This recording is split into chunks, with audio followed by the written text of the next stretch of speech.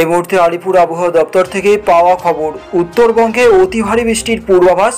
সেই সঙ্গে দক্ষিণবঙ্গের এই জেলাগুলিতে রয়েছে তুমুল ঝড় বৃষ্টির আশঙ্কা। তো দক্ষিণবঙ্গ সহ উত্তরবঙ্গের ঠিক কোন কোন জেলায় কবে থেকে রয়েছে ভারী বৃষ্টির সম্ভাবনা? আবহাওয়া দপ্তর কি জানাচ্ছেন? সম্পূর্ণ তথ্য জানতে ভিডিওটি শেষ পর্যন্ত দেখবেন। ভিডিওটি ভালো লাগলে লাইক করবেন।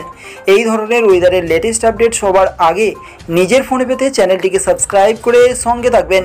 এই মুহূর্তে আপনি আমাদের এই ভিডিওটি কোন জায়গা থেকে দেখছেন অবশ্যই ভিডিওর কমেন্ট করে জানাবেন। তো চলুন দেখে নেওয়া যাক।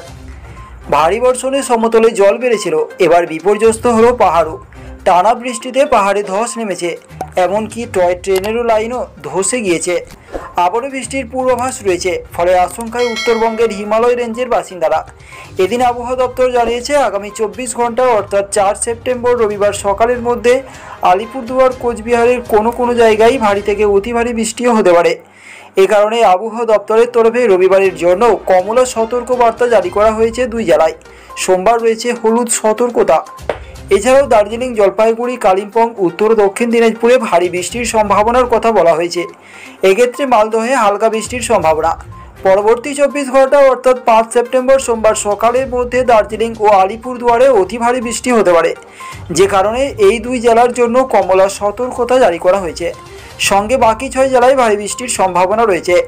পাঁচ সেপ্টেম্বর জলপাইগুড়ি আলিপুরদুয়ারে ভারী বৃষ্টির সম্ভাবনা।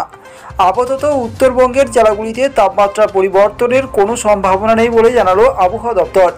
এদিকে আবহাওয়া দপ্তর জানাচ্ছে, মূলত মৌসুমি অক্ষরেখা প্রভাবের কারণে উত্তরবঙ্গে ভারী বৃষ্টি জারি থাকবে বলে সতর্কবার্তা জারি করা হয়েছে। আপাতত সোমবার পর্যন্ত চলবে এই বৃষ্টি। এদিকে দক্ষিণবঙ্গের ঠান্ডা হাওয়ার সঙ্গে ব্যাপক মেঘের গর্জন। একটু পরেই দক্ষিণবঙ্গের তিন জেলা কাঁপবে ঝড় জলে। একটু পরে দক্ষিণবঙ্গের তিন জেলা কাঁপতে চলেছে বজ্রবিদ্যুৎ সহ বৃষ্টিতে। সেই তিন জেলার মধ্যে রয়েছে হাওড়া, বীরভূম ও মুর্শিদাবাদের বিস্তীর্ণ এলাকা। এই তিন জেলায় পার্শ্ববর্তী এলাকার মানুষদের জন্য চূড়ান্ত সতর্কবার্তা রয়েছে। আবহাওয়া দপ্তর জানাচ্ছে, এবারে পুজো অনেকটাই আগে সেপ্টেম্বরের শেষে, ফলে পুজোয় বৃষ্টির আশঙ্কা থেকেই যাচ্ছে।